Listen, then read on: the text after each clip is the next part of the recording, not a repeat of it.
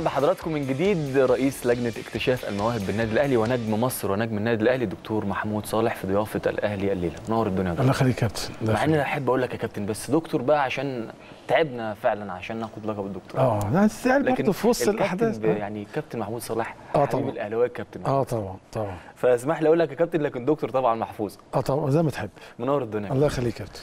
طمنا الأول على ال- على اللجنة وطمنا على ال- الدنيا عند حضرتك الأول وبعدين نشتغل بقى هو دايما محاور ألو... الكلام آه. هو دايما الواحد آه، بيبقى يعني عنده طموح أكتر يعني مش عاجبه شغله يعني ده يعني ده, ده إحساس دي حاجة صحية آه طبعا حاجة بس هي. بتمثل ضغط عليك يعني أنت ممكن توصل توصل للهدف اللي أنت حاطه يعني بتبقى مرت... بس انت عايز اللي جاي بتفكر في اللي جاي. صح. هي سلسلة ما بتوقفش. هو الإنسان الناجح كده يا كابتن. هو الطموح الناس كده. الطموح دايما ضاغط عليك. يعني في ناس في أو أو أشخاص بقى ليها هدف بتحققه شكرا. لكن آه. في أشخاص بقى اللي هو اللي بيفرقوا. طبعاً. يبقى يروح لهدف هو برضه عايز يوصل لبعد بالظبط. كده بعد كده. لأن هي مش مش. ملهاش نهاية. ملوش سقف. آه ملهاش. نهاية. فهي شغلانه صعبة. بس أنا أنا دايما أقول لنفسي انت أنت مقصر شوية. أنا ضاغط على نفسي شو ما أعرفش. بس دي طبعا كل التحيه والتقدير لحضرتك. آه بس. هي أوكي ماشي بس آه، يعني برضه لها جوانب سلبية. أكيد. آه طبعا. أكيد بس. جوانبها الإيجابية حلوة. آه طبعا طبعا. طبعاً. يعني هو موضوع موضوع برضه خلي بالك كبير. طبعا. موضوع كبير. طبعا. آه، لكن حضرتك بت- بتتكلم في مؤسسة بحجم النادي الأهلي بتتكلم في اسم كبير بحجم الدكتور محمود الله صالح يخليك. فأكيد الاثنين عايزين طموحات ملهاش سقف زي ما حضرتك بتقول. ضغط نفسي كبير جدا المفروض. وشغل آه، أكتر من 24 ساعة كمان. طبعا. لكن في الآخر بتكون أنت مبسوط طبعا. والله أنا ساعات بقى, بقى يعني أنام وأصحى بدري قوي وافكر في حاجة معينة ما أعرفش انام يعني مش ب... أكيد. آه يعني عمليه هي الشغلانة كده المهنة دي صعبة. أكيد. اللي هي ملهاش حدود. يعني أنت مش موظف بتروح تأدي شغلك وبتروح. صح. خلاص إن- أنت تفكيرك كله منتهي وخلاص عملت الشغل المطلوب منك. إنما دي العمل فيها والتفكير متواصل آه، كل اللي شغالين في الكورة كده. هو أو مش, مش. الكل بس أو الحاجات اللي فيها مميز يعني اللي هي فيها مميزين. آه اللي هي فيها فيها عايز أقول فيها موهبة. تمام.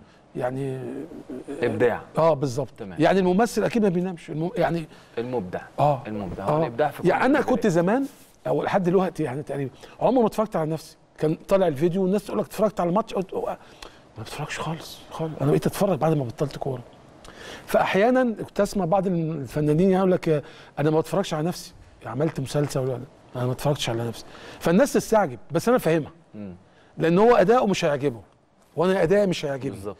لأن أنت دايما عايز بالظبط. الأحسن وكانت ناس تقول لك أنت كويس وأنا بحس إن أنا مش كويس والأفضل عمرك ما توصل له طول ما أنت عندك طموح آه آه يعني أنت بتبقى حاسس إنك عادي لعبت وجهة مباراة نظر. من وجهة نظرك أنت مش آه. من وجهة نظر الآخرين آه، ممكن. الآخرين يقول لك ده بتنت. قاسي على حكمك على نفسك بالظبط. بيبقى فيه قسوة يعني بالظبط السؤال اللي أنا دايما بسأله لنفسي يا كابتن محمود لما بروح أشوف مواهب النادي الأهلي مواهب نادي الزمالك مواهب نادي ام بي المقاولين لأن الأندية الكبيرة اللي بيروحوا لها الناس بشوف أعداد كبيرة جدا اختاروها بالفعل. وبنقول ده مواهب مش طبيعية. ربنا حاطط فيهم الكورة وزي ما بنقول كده بالبلدي هم في في في بطون أمهاتهم. بعد كده المواهب دي بتبدأ تختفي تدريجيا. ده السؤال اللي دايما بسأله لنفسي. ليه؟ هو الإجابة واضحة. هو أنت عندك لعيب موهوب وبيبشر إنه- يعني في تنبؤ ان هو إن شاء الله يبقى كويس ويقدر يكمل في الفريق الأول وممكن يبقى منتخب مصر كمان. ما هو في عوامل بتأثر عليه. ال- ال- ال- ال- البيئة اللي حواليه التدريب والأسرة دول أقرب اتنين ليه يعني. لازم يكون في اهتمام بالاثنين وفي تعاون بين الاثنين خصوصا كل ما ال- ال- اللاعب سنه صغير بيبقى محتاج رعاية معينة. تمام. فاعتقد عن السنوات اللي فاتت عن الأجيال اللي فاتت في خلل في التدريب البيئه التدريبية آه في خلل طبعا في خلل. أنا أنا أنا شايف المدربين اللي دربونا وإحنا كنا محظوظين عندهم إخلاص في الشغل أكتر مننا. مننا بحسب. نفسي مع دي حقيقة بقى أنا طبعاً. يعني بحيي حضرتك على الصراحة. طبعا. وبدون مقابل وبمرتب ضعيف جدا وبدون أي إمكانيات. وبيعامل اللعيب كأنه ابنه. ودايما أنا أقول ال- ال- اللي هقوله دلوقتي يمكن قلته أكتر من مرة. الله يرحمه عم جمعة سرحان كان كان إداري لوحده في الكورة فكره مسك الفرق كلها في قطاع الناشئين لوحده. آه ويجي الصبح ويمشي آه، 10 بالليل ولا حاجة. كان علاء ميهوب من الحومديه كان يروح يمشي يوصله الجيزة ويركبه وهو ساكن في عين شمس ويرجع تاني المشوار ده كله. بدون ما حد كلفه هو بس يعني عنده ضمير وخايف على الولد اللي هو بقى كابتن علاء ميهوب بعد كده. وده يمكن لا- لولا عم جمعة مثلا ممكن علاء ما كانش يكمل. صح. صح. ممكن يعني ممكن ما يكونش معاه حق المواصلات مثلا. صح. ممكن أبوه يقول له لا أو يتوه. ي- مع سنه صغير بيتكلم ممكن يكون عنده 10 12 سنة فبقى بكلمك في وقت سنه صغير. لو ما لقاش الرعاية والاهتمام بيه في البيئة الرياضية في بهذا الشكل ممكن وكده. خد عندك كتير كتير. أنا كابتن أحمد ماهر كان في مسؤول عايز يمشيني.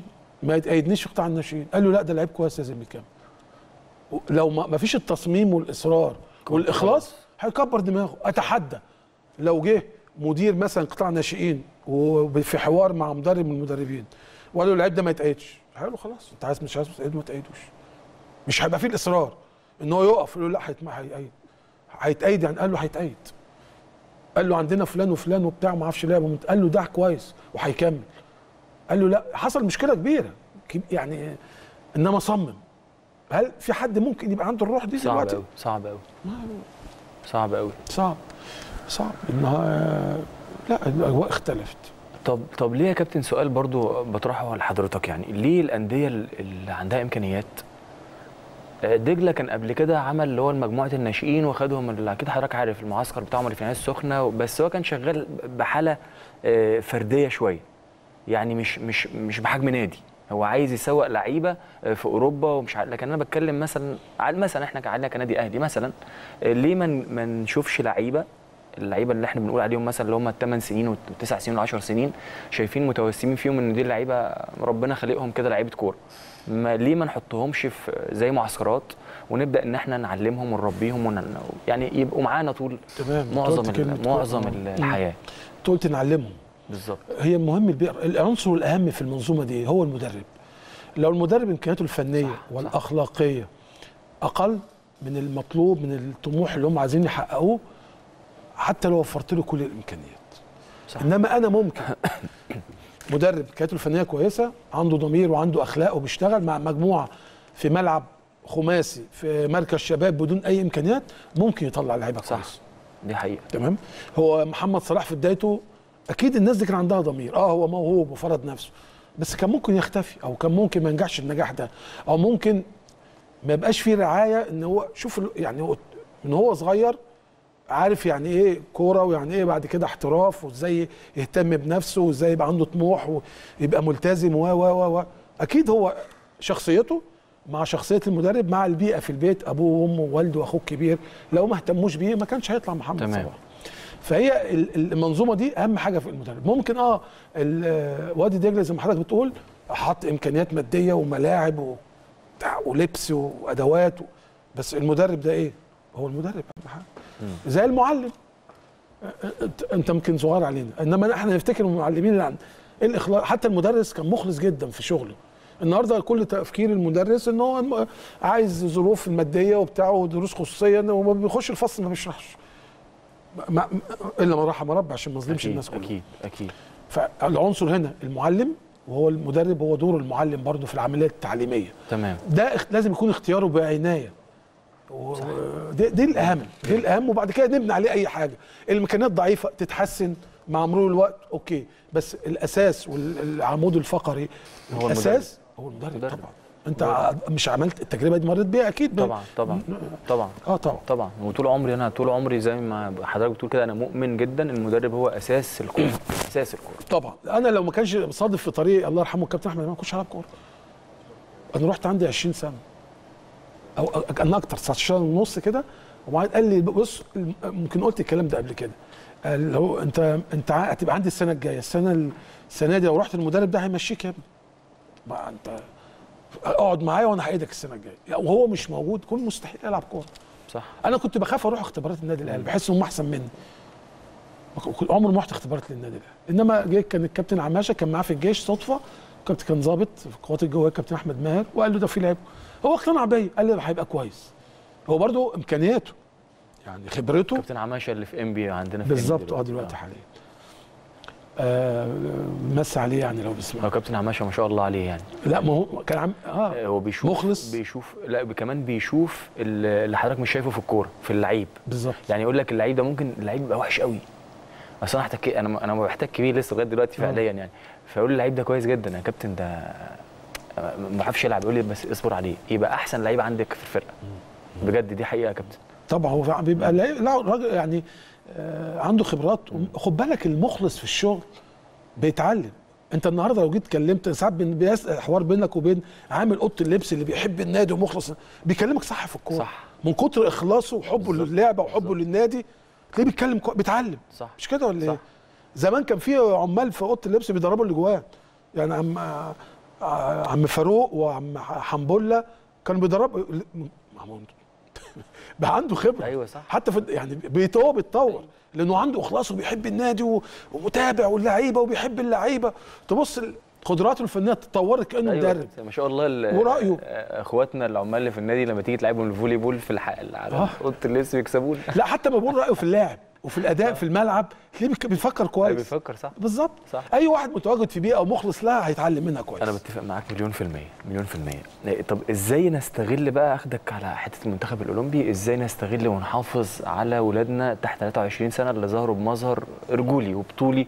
عايزين بس شوية يعني كده إيه تلميع كمان في الفنيات إن شاء الله كابتن شوقي غريب يشتغل عليهم ويبقوا حاجة تكسر الدنيا إزاي نستغلهم ونحافظ عليهم وإيه أبرز النتائج اللي حضرتك طلعت بيها ككابتن محمود صالح من هذا المنتخب هو هو طبعا طبعا المنتخب أنا فاجئت الحقيقة بالمستوى وتطور بعض. اللاعبين كلنا يا كابتن آه. كلنا بلا استثناء إلا من رحم ربي برضه كله كان بيجي يقعد قدامي هنا متخوف ومرعوب آه. قبل البطولة إن إحنا ممكن ما نطلعش الدور الثاني وهذا يحسب طبعا الجهاز الفني أكيد. والجهاز الطبي والجهاز الإداري بقياده الكابتن شوقي غريب طبعا ما فيش شك. آه، تطور آه، ملحوظ الحقيقة في في الأداء الفردي والأداء الجماعي والالتزام والروح طبعا دي دي بت دي نقط مهمة أنت ممكن تكون مهما تكن امكانياتك الفنية والخططية وحتى البدنية إنما ما فيش ال- الإعداد النفسي ده مهم جدا والذهني مهم ده جدا شغل مدرب برضه. طبعا. تمام. طبعا. الثقة اللي بتتولد بين المدرب والجهاز الفني كله واللاعبين دي نقطة مهمة. وأنت حضرتك أنت لو مريت بالتجارب بتاعتك كنت في متفوق أو حققت نجاحات. لو ما كانش موجود الثقة بين المدرب واللعيبه دي دي نقطة يعني مهمة جدا. ده أهم حاجة في عوامل النجاح. تخلي كل حاجة بتتطور وتلاقي اللعيب بيدي أفضل مستوى ممكن من إمكانياته وقدراته. صح صح. أو أو آه، يعني آه، برضه أكمل كلام حضرتك أو ما يبقاش في العلاقة دي لكن أنت عندك كلعيب عندك سمات فردية مختلفة تماما أنت بتتحدى أي حاجة وعايز تنجح تمام. آه لو حتى تنحت في الصخر زي ما أنا بيقولوا. كنت هكمل نفس الكلام اللي هو عند الفرد عند الشخص عند اللاعب. بالظبط. لازم يكون عنده طموح وعنده إصرار و و لآخره وعايز يحقق نجاحاته آه، بيحب ناديه بيحب بلده وعارف قد إيه المسؤولية. إنه بيلعب على بطولة باسم مصر بيمثل فوق ال 100 مليون واحد. فدي طبعا لازم دي تكون مع دي. بس اللي بي- بيقود برضه هو المدرب. أكيد. أنا ممكن أعمل إحباط للاعبين لعيبة مهمين. أكيد. وممكن أنا أطور في الأداء بشكل كويس. وممكن ال- اللعيب اللي أداؤه أربعة من عشرة ممكن أخليه سبعة وثمانية من عشرة. بال- بال- بالبرامج التدريبية وال وال وال وال وال ال- ال- الفورمة بقى الرياضية اللي هو كل كل حاجة بقى بدني وفني وخططي أو يعني والجوانب النفسية والذهنية دي أكيد. أحيانا بعض المدربين بيغفلوا ال- الجزء النفسي والبدني أنا فاكر يعني جت في ذهني دلوقتي دون ريفي ده كان مدرب منتخب إنجلترا وجه دربنا في 84 تمام تعرف يعني إيه مدرب إنجلترا؟ يعني حاجة كبيرة قوي.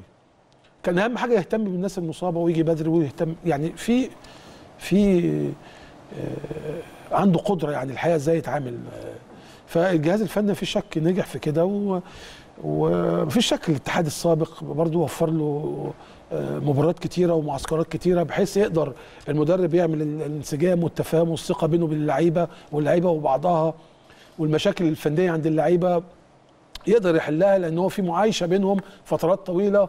المنتخب ده متهيألي بيتجمع من 20 شهر فات. برضه كويس يعني ادى فرصة. هو المنتخب ده كبير في السن ف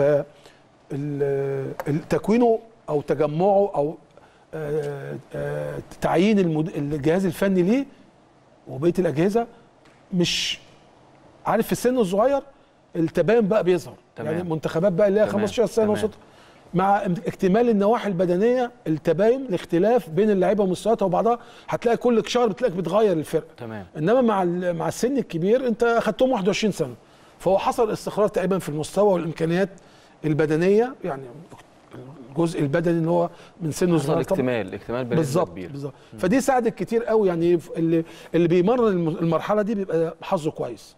كل كان بنتكلم على مستوى المنتخبات. تمام.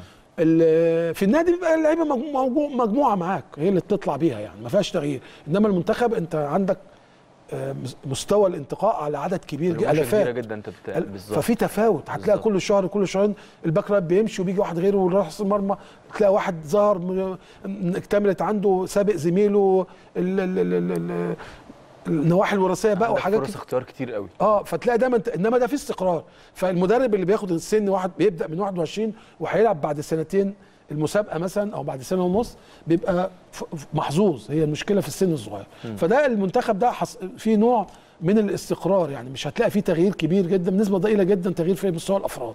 فإدى فرصة كتيرة فرصة كبيرة لإن هم يجمعوا إزاي يجرب اللاعبين ويحفظ إمكانيات كل لاعب.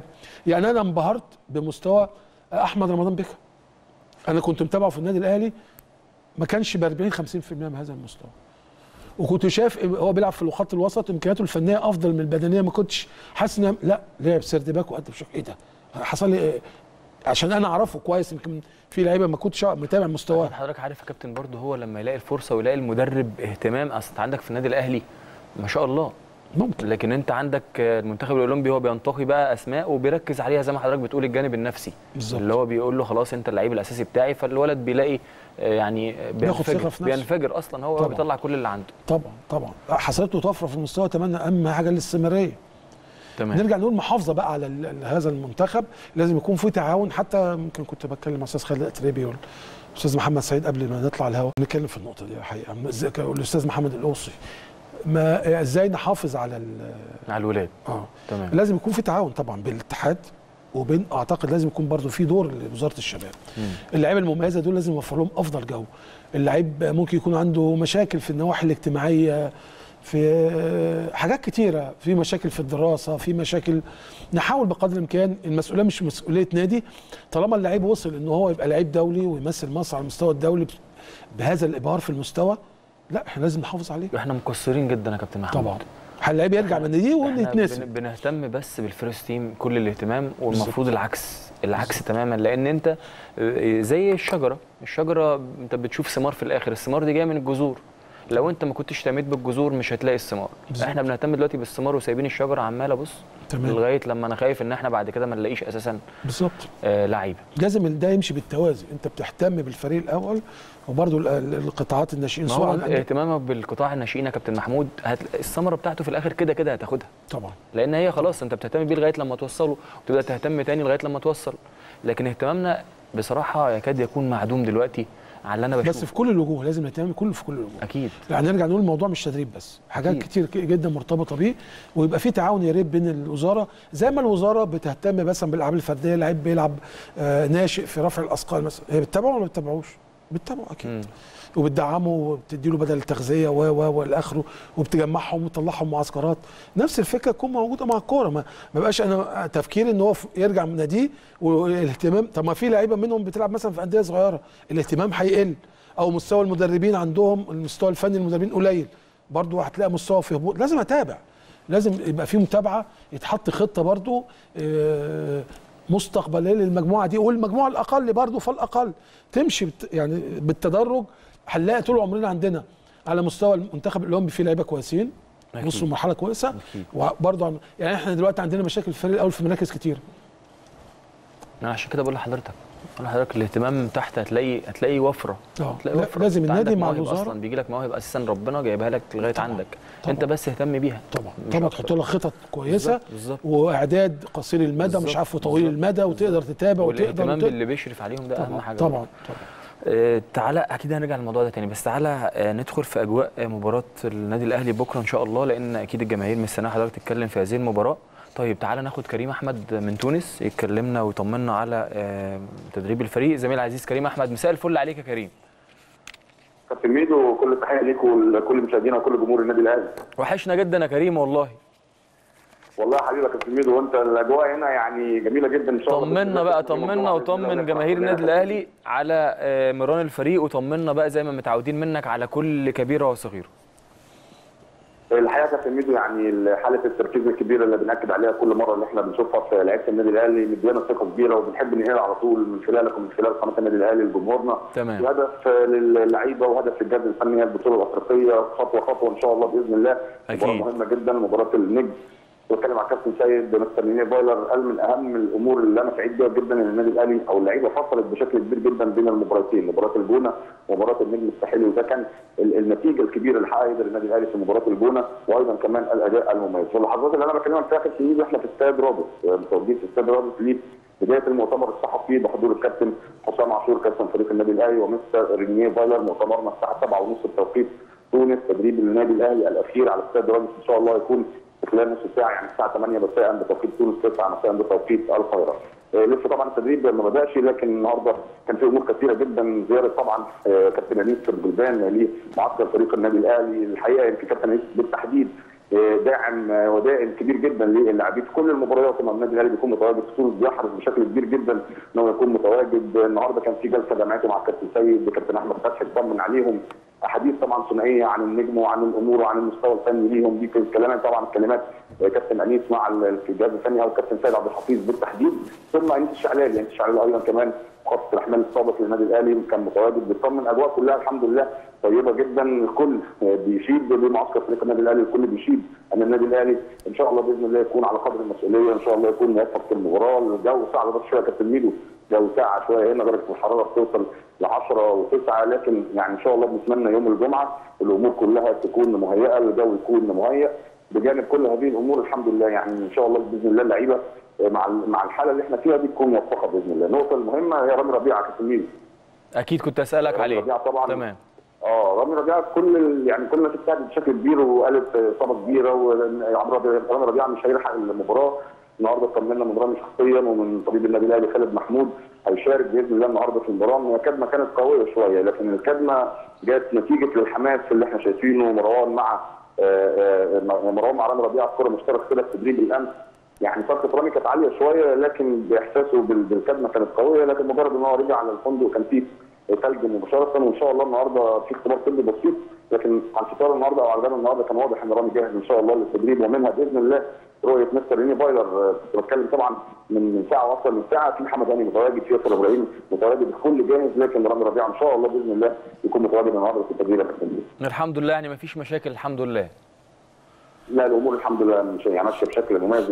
يدينا زي ما بقول لك استاد رادس فيه اهتمام إعلامي كبير جدا آه، لوجود النادي الأهلي وأهمية هذه المباراة. آه، في أكثر من نقطة يمكن جاي بتكلم مع اللعيبة فيها هو إن إحنا ما نستهونش إن النادي النجم الساحلي بيلعب رادس مش هيجي له جمهور.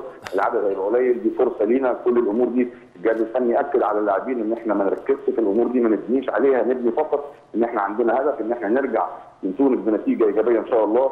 الجمهور هيكون متواجد جمهور النادي الأهلي قله العدد آه قليل 500 مشجع يكونوا متواجدين بالتنسيق مع السفاره مع السفير نبيل حبشي الدكتور مهند مجدي رئيس البعثه إن هو يكون متواجد الجاليه المصرية للنادي الأهلي الدخول بالباسبوره في الفيديو فإن شاء الله يكون في سهولة ويسر في الدخول والخروج وإن شاء الله نفرح كلنا كابتن يوم الجمعة بإذن الله. يا رب يا رب يا كريم. كان فايلر كان أعلن عن إن يكون التمرين سري أو هيحاول يكون التمرين سري آه، فهل دي حقيقة فعلا ولا التمرين مفتوح؟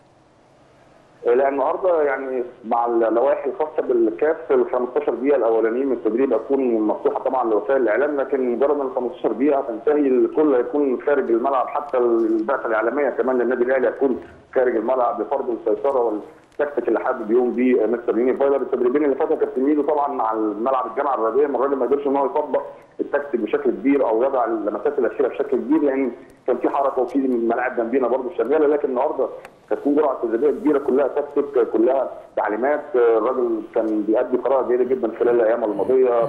جاب كل المباريات جاب المباريات الأخيرة نقاط القوة والضعف. مركز هو كمان على ال- ال- الهجمات المرتدة ومركز على الكروسات. الفاولات كمان هيبقى ليها دور إن شاء الله في هذه المباراة. آه، لعبتنا فايقة بلغة الكورة. بنتمنى إن شاء الله يستمر الأداء ده بإذن الله يوم الجمعة. بإذن الله يا كابتن. يا رب يا كريم. الكابتن محمود الخطيب كان حريص على الاطمئنان على بعثه الفريق آه، كريم آه، من خلال اتصال هاتفي بالدكتور مهند مجدي. دي حقيقة وده يوميا إحنا تلميذ واتصال برئيس البعثة الدكتور مهند مجدي آه، كابتن سيد عبد الحفيظ بيطمئن يوميا على الأمور ماشية إزاي مع اللعيبة؟ في أي معطات بتقابل اللعيبة؟ بينسق كمان كابتن بيبو اتصل بمعالي السفير نبيل الحبشي اللي باكد على دوره الكبير جدا من الراجل بيزل لنا كل ال- الصعاب اللي متواجده الحمد لله ما فيش صعاب لكن في حاجات أمور ترتيبية وتنظيمية بتفرق أكيد مع النادي الأهلي. كل الأمور دي الحمد لله بالتنسيق مع الكابتن محمود الخطيب رئيس مجلس الإدارة ومعالي السفير والكابتن سيد عبد الحفيظ. كل الأمور الحمد لله. حتى هذه اللحظة ماشية بشكل جيد. يوم المباراة هو الأهم. بالنسبة للتأمين بالنسبة للتحركات بالنسبة لدخولنا الملعب. منتظرين إن شاء الله يوم الجمعة تكون زي ما الأيام اللي فاتت ماشية بشكل كويس جدا مع الجانب التونسي يوم الجمعة إن شاء الله يعني يكمل الدور بتاعهم بإذن الله إن إحنا ندخل الاستاد بدون أي مشاكل. أيوه. طيب ماشي. هو الحمد لله إن إحنا اطمنا على كل حاجة ويعني كان في بس سؤال كنت هقول له بالرأي. آه هنجيبه تاني ولا خلاص كده يا جماعة؟ ها؟ طيب خلاص تمام. طمنا على كل حاجة. الحمد لله كمان اطمنا على سعد سمير. إن شاء الله إن شاء الله يكون بكرة آه، في المباراة إن كان في التشكيل اللي هيعتمد عليه فايلر لكن الحمد لله طمنا إن هي كدمة إن شاء الله تكون بسيطة وهينزل المران رامي ربيعة. آه رامي. كان خد كدمة آه، جامدة من مروان. وكان في كده كلام إن هو ممكن ما يلحقش المباراة أو يغيب عن المباراة. لكن الحمد لله الحمد لله. طمنا كريم إن هو هيشارك في المباراة. ده هو كلام المراسل المطمئن أنا إحساسي. إنه بيتكلم بثقة. هو كريم ما شاء الله دايما. لا هو لا هو هو هو مطمئن شخصيا. آه. ما ممكن أكون مش مطمئن. وأجي أكلمك أقول لك لا الأجواء كويسة. لا لا لا, لا هو- هتحس هو بيها. بينقل معلومه كريم كريم ما شاء الله عليه يعني. بصدق. آه بالظبط. لا بقى أنا مش مركز على إن هو صادق هو صادق يعني الحمد لله. أنا بكلم إحساس يعني إحنا. اطمنا يعني من واصل لك إحساسه. آه. تمام. إيه، مباراة صعبة يا كابتن محمد. هم بقى عندهم الحتة دي الناحية التكتيكية عندهم عالية. ممكن يعني يعني يقدر يبقى في مقاومة كويسة. الناحية التكتيكية. وممكن يستغل نقاط ضعف عندك. ممكن. تمام. شايف عندنا نقاط ضعف فين يا كابتن؟ فالصراع تكتيكي. شايف عندنا نقاط ضعف فين؟ لا حاليا في التوقيت ده لا بالعكس. أنا شايف آه، حتى في مواقف كده فردية في الدفاع في الوقفة في وضع الجسم التشريحي في التغطية لا اتحسنت كتير. كتير. آه طبعا. هو الراجل ده بصراحة أم- بيهتم انت. بتشوف رؤية غير غير المشا... يعني آه انت شغال في المهنة. أكيد. بتيجي هجمة على النادي الأهلي. أنا ببص بقى في الكادر بقى. أكيد. عايز أكلم اللعيب ده يعني كأنه في تمرين. كويس، آه، آه شمالك بالظبط، يمينك قرب شوية المسافة. آه، بص الناحية العكسية ممكن حد يجي يبقى جاي بيتحرك في منطقة فاضية. بكلم نفسي ساعات يعني. لا اتحسنت كتير أنا بحس أنا بكلمها على سيرة التمرين فيها يا كابتن. أنا أول مرة أسأل السؤال ده وأول مرة فعلا آه، أبقى آه، أتأكد إن فايلر فعلا بيحرص على سريه التمرين في إيه. آه، لما رجعنا لما رحنا لعبنا ماتش ودي أو لعبنا ماتش أفريقيا كان هو حريص ايا كان بقى ما كانش فيه وسائل إن إحنا نذاع المباراة ايا كان كان هو حريص المباراة ما تتشافش. ايا كان. وفعلا المباراة ما اتذاعتش عشان يحضر للزمالك مفاجأة بتشكيل بلعب جديد وعمل اللي هو عايزه كسب كان متقدم على الزمالك 3-0 أكيد حضرتك فاكر المباراة. آه، بعد كده لعبنا مباراة ودية برده كان حريص إن هي ما تتذاعش ودايما بيعمل لك مفاجأة في التشكيل أو في طريقة اللعب. يعني جونيور اجاي لما شفناه قدام الزمالك forward كلنا استغربنا صح؟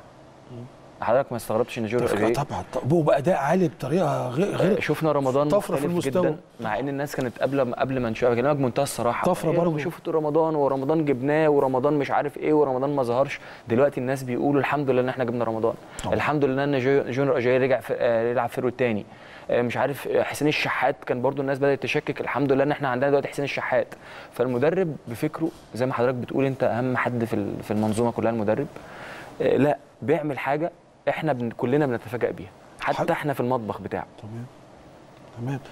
يعني يعني لو نرجع شوية بالذاكرة فترة تألق مثلا مع مستر مانويل جوزيه بس إمكانيات اللعيبة كانت طاغية.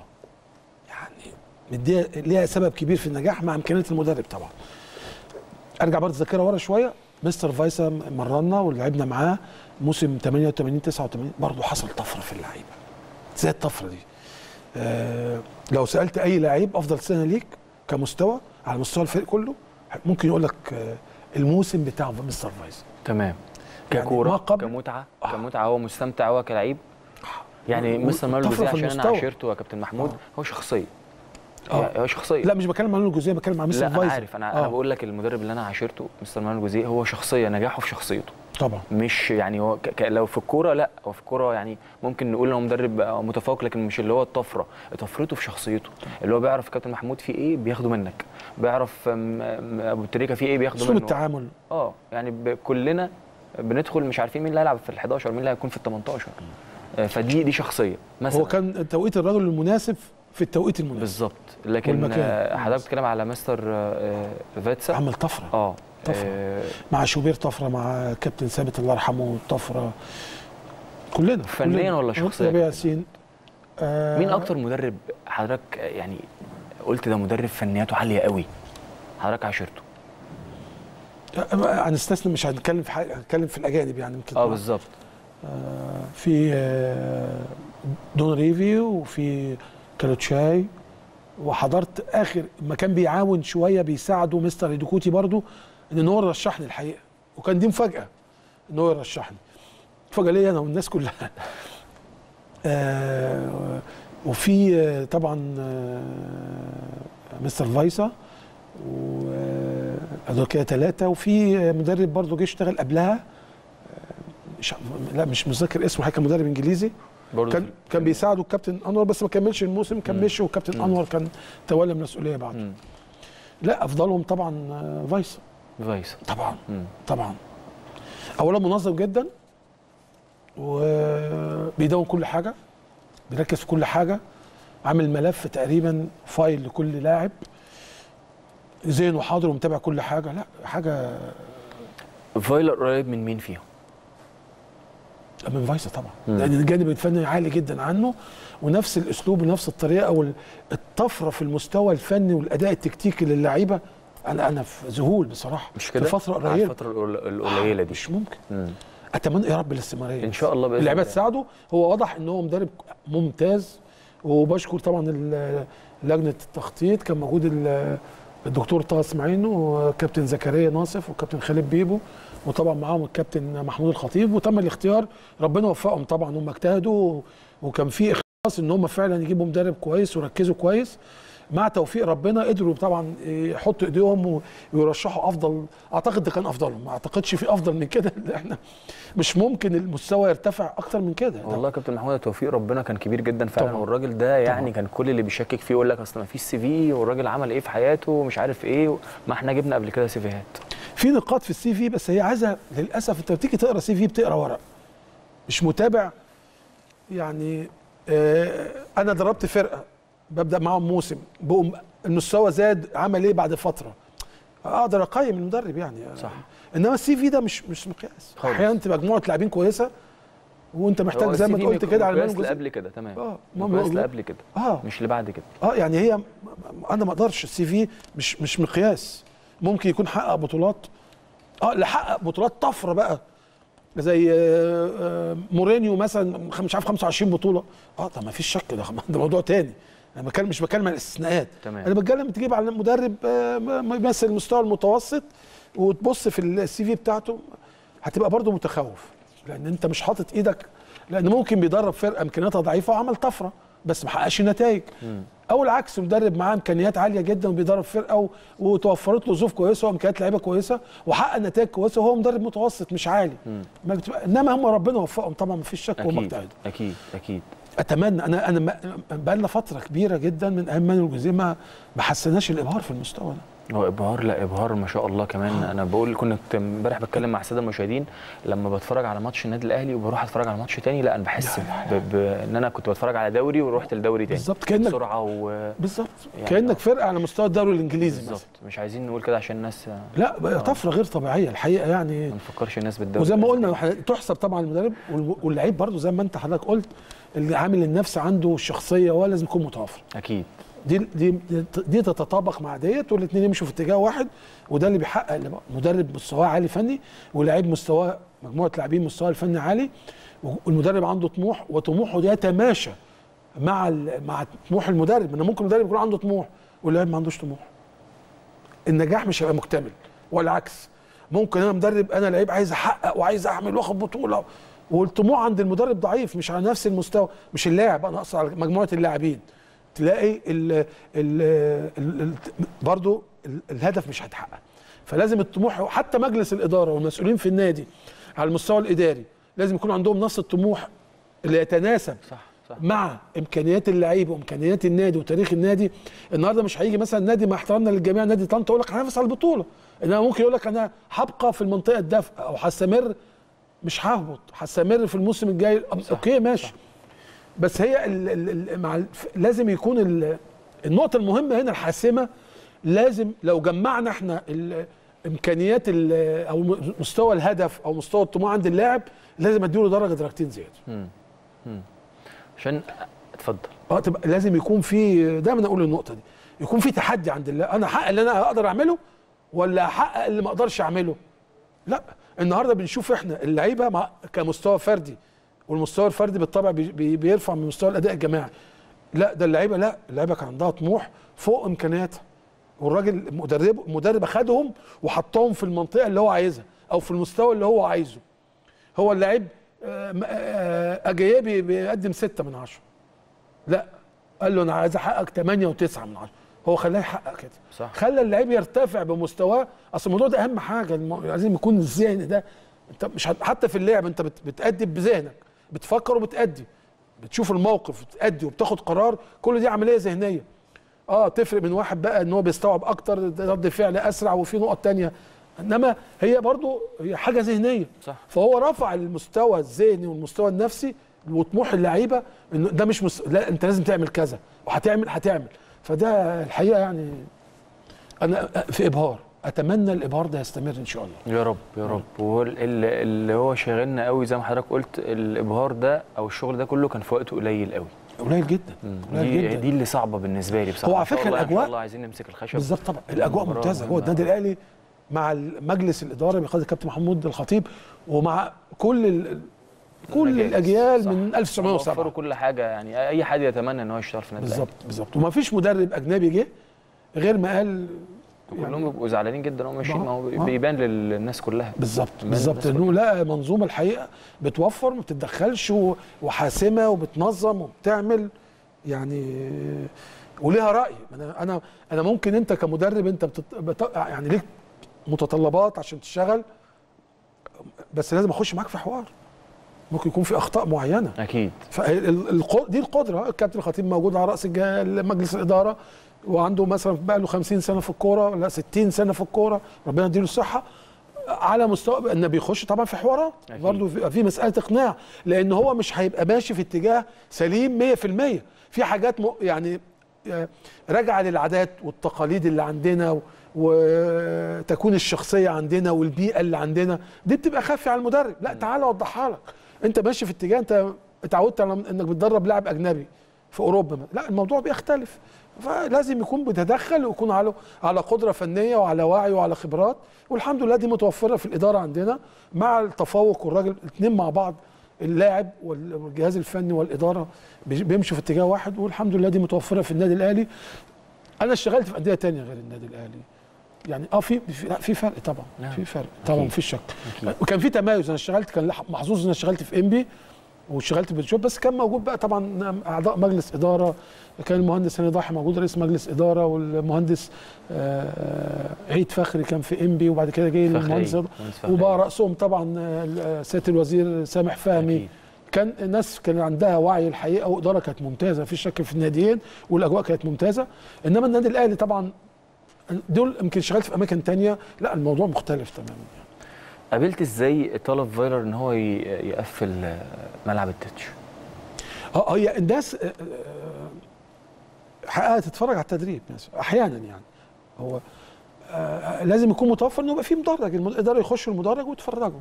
خصوصا لو واحد أنا عايز أتفرج على التدريب أنا راجل عاجبني وعايز أتابع أنت ماشي. كراجل فني كشغال في النادي. آه. إنما هو آه، هي الناس متخيلة بس أنا أنا عارفه أن وجهة نظري وأعتقد سليمة يعني إن شاء الله تكون سليمه هو الناس متخيلة إن هو بيقفل عشان السرية؟ ما مش سرية ولا حاجة. الماتشات مذاعه في النادي الأهلي والأداء ومستوى اللاعبين وإمكانياتهم. آه، والناحية الخططية طب ما أنت تشوف تدرس النادي الأهلي إيه المشكلة؟ يعني دي سهلة اللي عايز يتابع أو أو نادي منافس أو هو ما بيبصش لكده. هو بيبص لتركيز اللاعب. أنا عايز أعزلك. لأن في في النادي الاهلي الناس بتقف على السور وفي كافيتيريا الناحية دي وكافيتيريا الناحية دي. مفيش استقلالية. المستوى مت... يعني بينه وبين دي حقيقة. بينه وبين الملعب خمسة متر وتلاقي واحد بيشرب شاي وقاعد مسترخي و... أنا شايف لا يقفل اللعيب لازم يكون مركز. أنا أنا أنا أنا أنا مبسوط إن هو عمل كده. هو مش قاصد إن هو عزلة أو تمرين سري لا. هو عايز اللعيب يبقى في أجواء أجواء إنها تركز يبقى أفصله عن البيئة اللي بره دي. أنا لو في ناس بتتكلم وناس قاعدة في استرخاء وبيشربوا شاي وقهوة وحاجة ساقعة وصوتهم ممكن اكون سامعه صح. المسافه قريبة. صح. لا ولو ولو سري ولو سري يا كابتن إيه المشكلة؟ يعني الراجل آه، لو في حاجة جديدة معينة. بالظبط. يعني الراجل بيشتغل وبيتعب ومجهوده مش أحياناً. واحد قاعد بتليفونه هيصور كل آه، التمرين. بس هو مش مش عايز مش موضوع سري على طول. لا مش سريع هو عايز يغير في طريقه اللعب عايز يعمل تكتيك معين. عايز يعمل تمارين فردية لحد معين عنده مشكلة. يعني أنا أحس لو أنا راجل فني وعندي وعي في الناحية الفنية لو بتفرج وبيدرب مدرب على حاجات آه، لاعب دفاع على حاجات معينة وأنا وتوجيهاته أعرف إن هو بيت- بي بي بي بيدربه على حاجات في نقاط ضعف عنده. صح. ممكن أفهمها. مم، صح. ده اللي أنا بتكلم فيه. آه. وممكن مع مهاجم بيركز على حاجات معينة أقدر.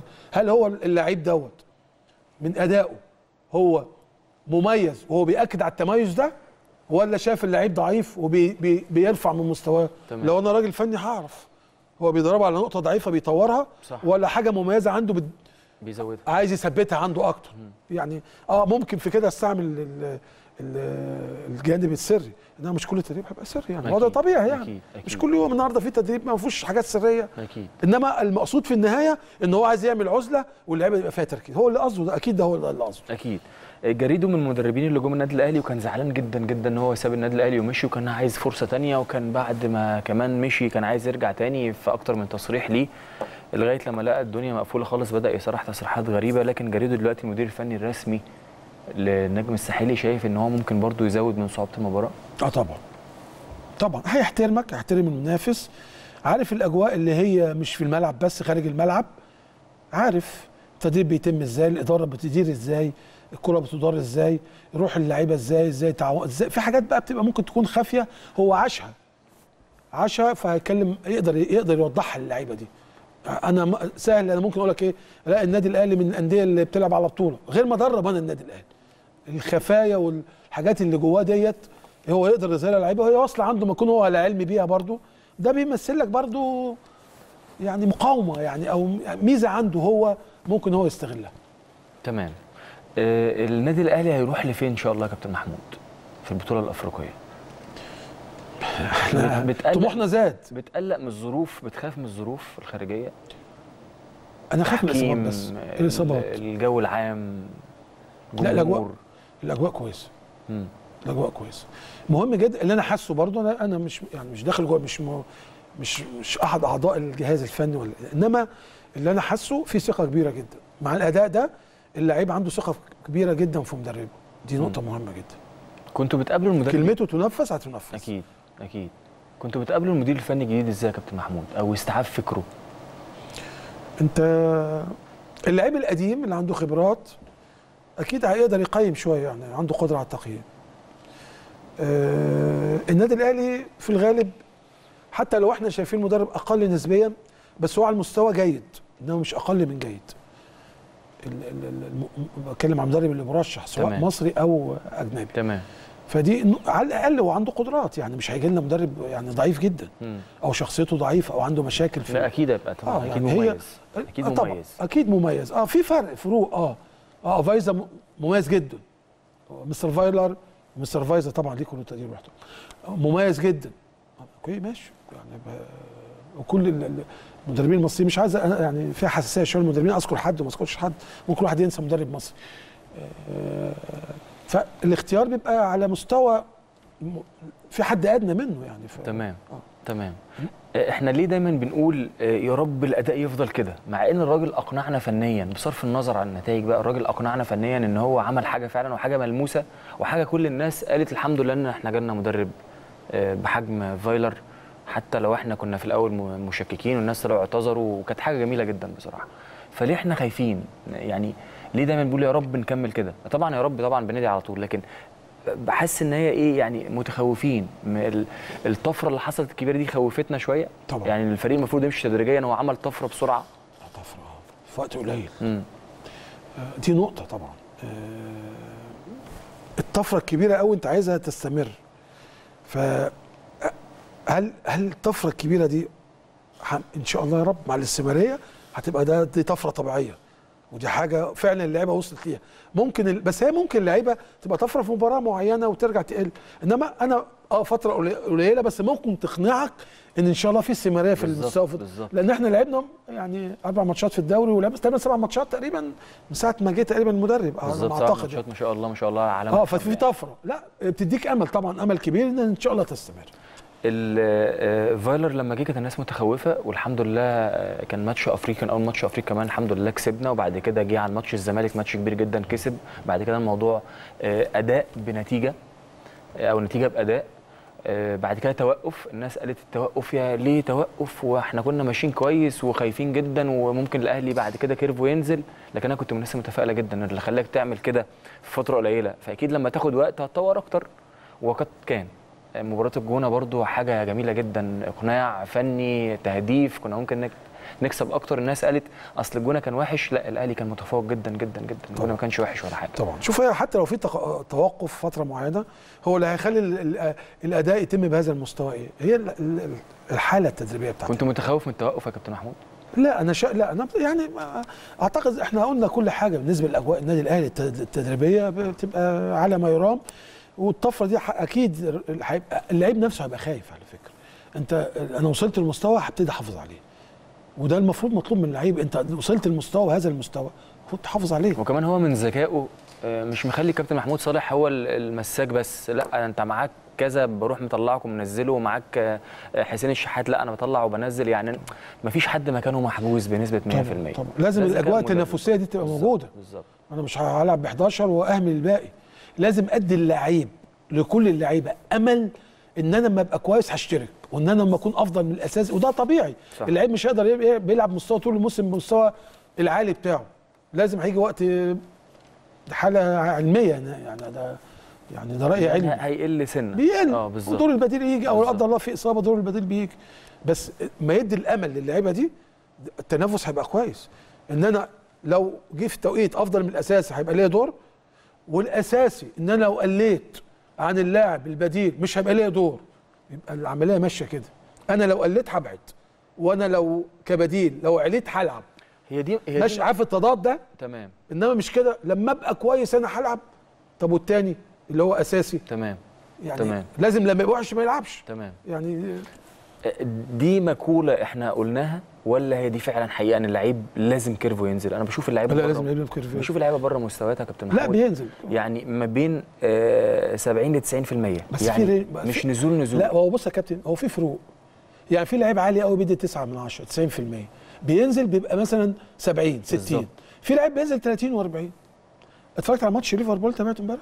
شفت. آه هم كانوا أنا شايف محمد صلاح بقى يعني كان 90 بقى 4 بقى 40% مم. من مستواه. و وماني برضو هذا الأساس؟ وفيرمينيو هذا الأساس. أنا شايف الثلاثه يعني هي حقيقة. حقيقة طبعا. حقيقة. آه. بس زي ما بقول لك في واحد بيقل بنسبة قليلة. ويرجع بسرعة. بالظبط. وفي واحد بيقل أكتر ورجوعه بياخد وقت. هي دي السمات في لعيب. بيبقى ثلاث أربع أيام وأسبوع يرجع وفي لعيب يقعد له أسبوعين ثلاثة و... هي في حاجة بتاعت ربنا بقى. ما أنت بتعمل علميا كل حاجة وبتحاول تعمل كل حاجة صح إنما في حاجات بتبقى خافية في حياتك أو في شغلك. تمام تمام. تعالى بسرعة إحنا خلاص اعتقد ان إحنا اتكلمنا عن كل حاجة في مباراة الأهلي. إن شاء الله بكرة كل التوفيق للنادي الأهلي. مباراة صعبة زي ما حضرتك بتقول مش هنستسهلها تماما حتى لو كنا إحنا يعني آه، في قمة أدائنا. لكن مباراة صعبة بكل الأحوال. مدرب جديد مدرب حافظ النادي الأهلي جمهور آه، منافسة بين النادي الأهلي والنجم الساحلين. طبعا منافسة يعني على مدار السنين فورمه صعبة كمان. أكيد. يعني في نقطة بس أوضحها. ممكن أنت اللعيب 11 في الملعب فيهم تسعة في فورمة عالية. واثنين أقل مستوى. مش مشكلة. تمام. إنما ما يبقاش فيه خمسة ستة بالظبط. بعيد عن مستواهم. والفورمة الرياضية قليلة. و- و- و- و- و- ثابتة أو عالية عند اثنين ثلاثة أربعة. لا دي هتبقى مشكلة. يوم فمش. مشكلة. طبيعي مش ممكن 11 يبقوا سوبر في الملعب. أكيد. إن شاء الله. لو إن شاء تسعة الله. سوبر يبقى إن شاء كويس. الله. إن شاء الله. تعالى بسرعة أرجع للمنتخب الأولمبي. سؤال واحد بس قبل ما أخد المنتخب الأول وأقول لك برضو شفته إزاي. إحنا عشان وقتنا خلاص خمس دقائق المنتخب الأولمبي هل هو المنتخب الأولمبي كانت الظروف كلها معاه. هل الجمهور كان عامل إيجابي؟ أكيد كان عامل إيجابي. آه، هل حماسة؟ هل ملعبنا؟ بلدنا؟ الحاجات دي أثرت تأثير إيجابي في أداء المنتخب. هل لو كان المنتخب بيلعب البطولة دي بره مصر كان هيبقى ده شكل المنتخب الأولمبي؟ ده كل عامل ليه طبعا يعني ساعدت المنتخب بشكل كبير. التواجد الجماهيري. إحنا بقالنا كتير في لعيبة عمرهم ما لعبوا جمهور يعني كلهم عناصر صغيرة في السن.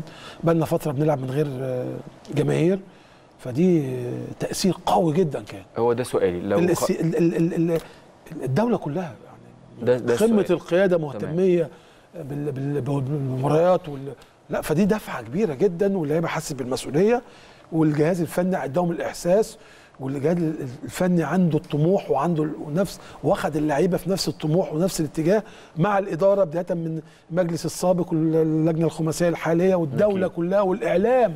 الاعلام كان ليه دور رهيب طبعا. أكيد. و... لا الأجواء طبعا ممتازة. هنفقد كام في المية من قوتنا لو خرجنا لعبنا بره مصر؟ لا المفروض ما تنزلش. مش كده؟ طبعا. لأن أنت بتنتقل لم... بقى.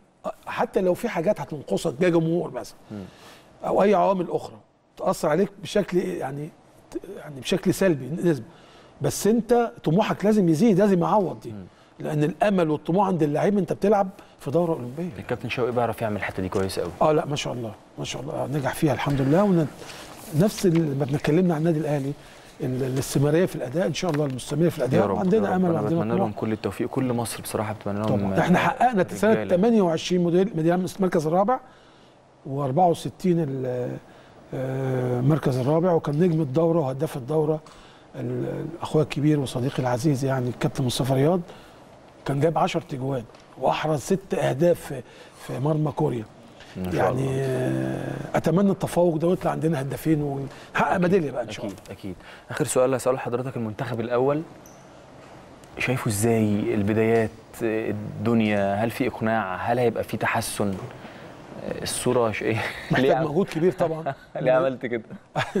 لا ما لا, ما يطمنش طبعا مفيش شك. أنا سؤال- سؤال إجابته طبعا يعني محددة. يعني أكيد هجاوبك نفس الإجابة. لو سألت أي واحد نفس السؤال هيقول لك نفس الإجابة. الأداء لا غير مطمئن طبعا. آه نتمنى الفترة الجاية ممكن يبقى فيه اهتزاز شوية متفائل بالفترة اللي جاية يا كابتن محمود ولا في حاجات كتير ممكن لا تحصل؟ مش مش متفائل. مش. متفائل. مش متفائل. مش هسألك إيه اللي ممكن لا احسن أحسن من مش هقول مش متفائل قوي لا أحسن أنا مش متفائل. أتمنى مع الأدوار الجاية محتاجين مجهود والأداء يبقى أفضل من كده و... في عبء كبير على اللعيبة بالذات يعني.